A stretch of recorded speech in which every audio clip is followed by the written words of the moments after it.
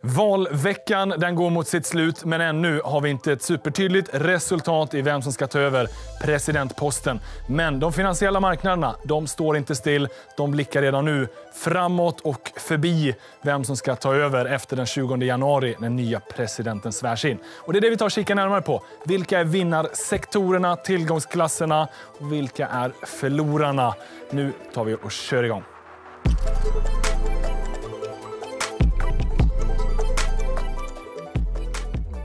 Vi tar och kastar oss in på den svenska börsen som har haft en väldigt positiv vecka efter den nervositet vi egentligen såg inför den här då valspurtsveckan. Redan liksom dagarna inför valet så såg vi en stigande börs inledningsvis när Trump höll sitt tal, i princip annekterade posten, så följer marknaderna ganska brant varpå de återhämtade sig successivt under dagen och även så resten av veckan. Så att, eh, det blev en väldigt positiv börsvecka mot slutet. Trots att det egentligen har varit eh, ganska mycket valstök. Det var egentligen det här man trodde inför. Sämsta tänkbara utfallet vore om vi får osäkerhet, ingen tydlig presidentkandidat, ingen heller klockren, eh, ett klockrent utfall vad gäller senat eller kongress. Nu sitter vi där och det kommer säkert vara en hel del oklarheter hela vägen fram tills att den nya presidenten, vem det nu blir, svärs in. Men de finansiella marknaderna stannar ju inte. Och om man kanske ska tillåtas spekulera så innebär ju eh, det politiska spelet inte allt för mycket för börsen. Det innebär ju någonting givetvis. Vilka typer av skatter vi kommer få se på eh, bolagsnivå kommer att spela stor roll. Men jag tror att börsen tänker lite scenariot tidigare i år. Vi fick en eh, total urblåsning, men det som hände efter var ju att stimulanspaketen gick igång. Nu när den andra vågen reser sig vet man att där står centralbankerna och politikerna när de har rätt ut allting för att stimulera ekonomin. Och det betyder ju allt annat lika positiva utsikter. Jag tror att det där börsen tar ganska mycket fasta på. Men man får inte heller vara naiv och tro att eh, allting kommer att vara positivt forever. Så att det kan vara fortsatt bra att bara vara lite lyhörd för hur saker och ting utvecklar sig. Men vi har i alla fall det röda strecket här. Det var ju själva valnatten och sen när vi öppnade upp börserna svensk tid så såg vi den här kraftiga, eh, kraftiga fallet. Men vi ganska snabbt tog igen det där och sen fortsatte kliva uppåt. Kollar vi ut eh, mot USA så ser vi även där ett tydligt, tydligt bullrace under veckan. En positiv underton på börsen. Eh, och om vi bryter ner det här, för veckan in, eh, erbjöd omkring 7% positiv utveckling, men bryter vi ner det på sektornivå och här har jag eh, de tio sektorerna då som vi kan hitta i SP500 sorterat på högsta avkastning under den här veckan. Och då är det ganska tydligt att det är IT-bolagen och healthcare som sticker ut. Och det är egentligen de här två som man var lite osäker inledningsvis. Det är framförallt då teknologibolagen som är årets vinnare. Vi ser att sektorn i sin helhet är upp 32% och sen bara här nu under veckan då nästan 10 Eh, Eh, så de här trodde man att fallhöjden var ganska hög på. Och sen har egentligen healthcare-bolagen varit lite slagsäcken. Kanske lite konstigt, för det är de som kan tänkas ha gynnats av en coronavåg.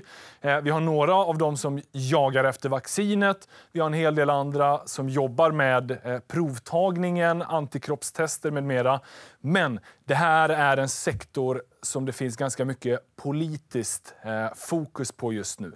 Så man vill försöka se över det. Det var väl kanske det då man framför allt var lite orolig inför valet. Nu fick vi lite lättnadsvåg, en liten eh, eh, möjlighet att andas ut för de här healthcare-bolagen och vi såg en ganska fin återhämtning under veckan än så länge. Som vi ser då inte lika eh, kraftigt positiv rusning sedan årsskiftet, bara 8 procent. Och bryter vi ner egentligen de här två sektorerna, du hittar ju alla grafer och sånt i blogginlägget, men bryter vi ner dem på de tio största bolagen, så på teknologisidan då är det ganska många välbekanta namn.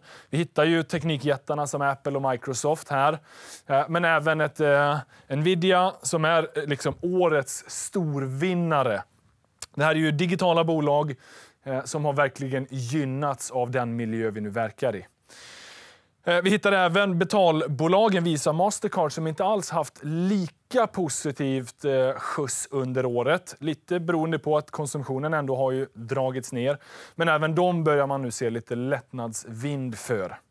Kikar vi över på healthcare-sektorn så har ju det här då som sagt varit en någorlunda pressad sektor under året. Det är klart att några sticker ut. Eh, framförallt då kanske de mindre. Det här är ju en lista sorterad på börsvärde.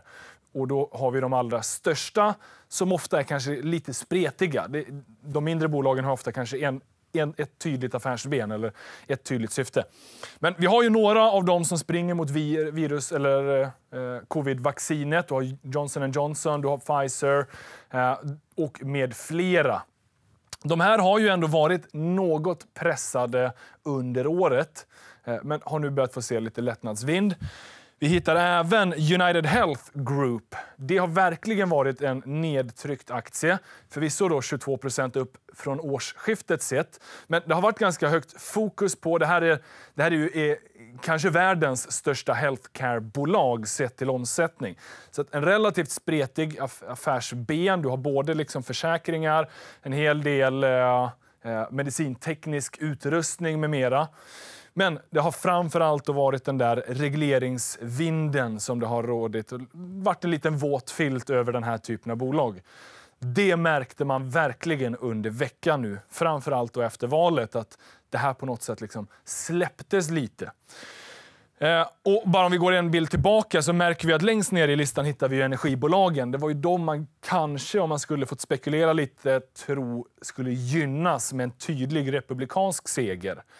Eh, nu ser vi ju då att det är de som har ju ändå gått bra, för börsen har gått bra, men de har underpresterat. Om nu SP500 stänger på 7% ungefär för veckan, så ligger de ju ändå i underkant. Och mycket då tack vare att kanske marknaden prisar in att Republikanerna inte får lika mycket inflytande. Så det kommer att vara fortsatt ganska tufft för oljesektorn eh, och istället då ge mer skjuts mot förnyelsebar energi ju mer då blått inflytande det blir i amerikansk politik. Så här har vi i alla fall eh, de två sektorerna nedbrutna. Du hittar även dem i blogginlägget eh, som tillhör det här. Kikar vi på lite andra tillgångsklasser, eh, framförallt såg vi en tydlig lugnande känsla på marknaden sett till att man prisar in mycket lägre volatilitet längre fram. Det här steg kraftigt förra veckan inför valet. Och då var vi uppe på ganska höga nivåer, nivåer som vi såg egentligen senast i våras. Men nu efter då valnatten så ser vi att marknaden prisar in volatiliteten kommande 30 dagar betydligt mycket lägre än vad vi gjorde inför valet. Så även om det är stökigt, vi har inte en supertydlig kandidat och ska vi tro Trump rätt så kommer han nog inte ge sig i det första läget. Men marknaden tar det här med ganska mycket lugn och ro. Det är någorlunda förhöjda nivåer sett ifrån förra året och tidigare år. Men det är för att det, det ligger liksom ändå en eh, coronapremie sett på volatiliteten. Det är en viss förhöjd orolighet, men den är inte panikslagen som det började kännas lite under förra veckan.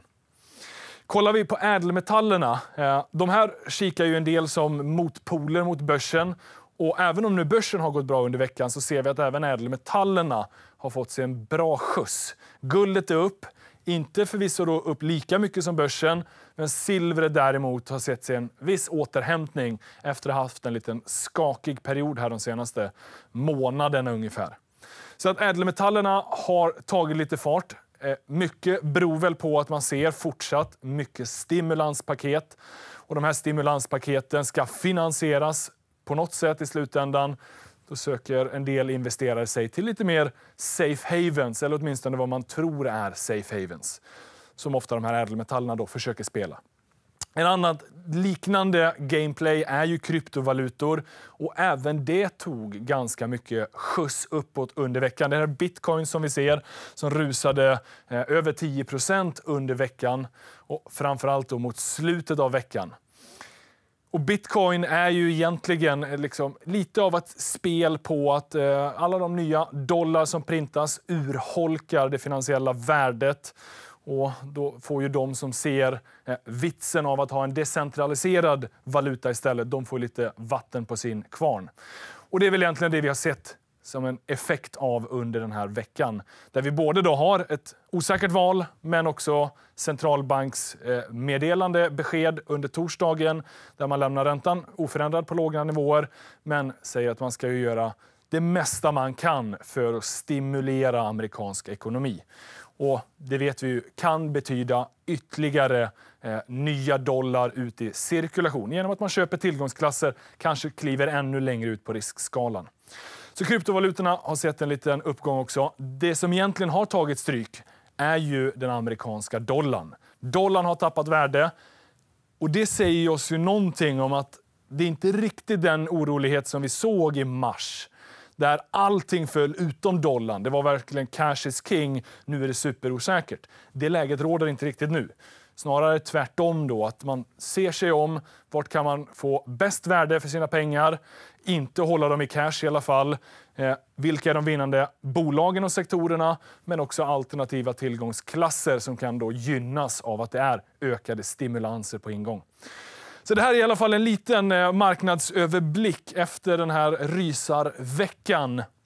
Nu får vi se. Som sagt, det kan vara stökigt ett tag till. Kolla gärna in förra veckans klipp. Då gick vi igenom datumen och hålltiderna inför här nu valet för att se då vilka potentiellt fler datum är bra att hålla koll på. När röstar de elektorerna? När tillträder nya kongressen och när faktiskt då vi har en ny president? Tills dess kommer det säkert vara lite stökigt eh, och det kan mycket väl bli någon liten risk on igen, men, eller risk off. Men just nu är det fullt fokus, risk on. Marknaden är positiv och framtidsutsikterna ser ganska ljusa ut. Men jag skickar med frågan till dig. Vad tror du? Vilka tillgångsklasser eller bolag eller sektorer tror du har bäst potential här nu fram mot årsskiftet och lite längre ut i tiden? Dela gärna i kommentarsfältet nedan. Det är alltid kul att tänka och höra vad ni tycker och tänker. Med det sagt, eh, lycka till, stay safe där ute och så ses vi igen framöver.